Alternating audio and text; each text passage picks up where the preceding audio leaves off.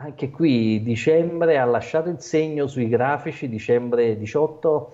ma sostanzialmente non ha, non ha, non ha spento quella voglia di rialzo che caratterizza gli indici americani ormai da, da dieci anni. Ricordo che proprio l'8 marzo eh, è il decennale del rialzo del mercato americano, cioè il famoso 666 di SP risale a dieci anni fa e quindi mai, almeno io non ho mai visto un trend così definito, uh, dieci anni di rialzi interrotti che non sembrano uh, voler terminare. Qui io onestamente anche qui su una logica di, di medio-lungo termine faccio un po' fatica a posizionarmi sul mercato americano perché dopo dieci anni di rialzo secondo me è, è del tutto legittimo una fase di consolidamento, però per ora ho torto perché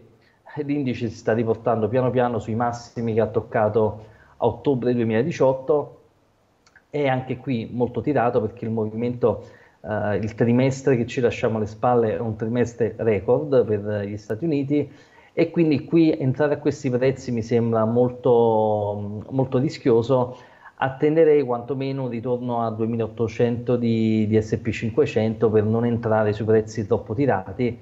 e anche a 2800 entrerei non con una logica di lungo termine ma più con una logica speculativa.